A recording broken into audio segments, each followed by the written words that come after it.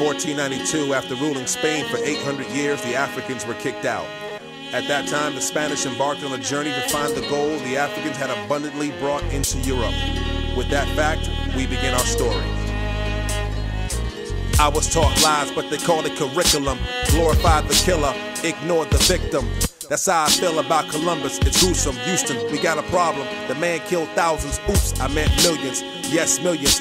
But it seems we don't care about the Native Americans. He raped girls at 10, opened the bellies of pregnant women. This is not my hero. These were the building blocks of racism that came to influence the system we live in. Now some will say Jay such a radical.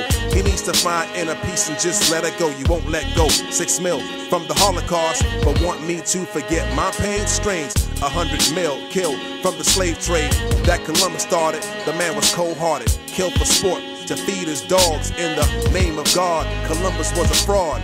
Columbus Day, America's great hoax. Discovered America, that's one big joke. Lied to the King of Spain and the Portuguese. He was a killer, a liar who was greedy. Now John McCain said no to MLK Day, but with Columbus Day, he's okay. Learn your history, open your minds up before the time's up.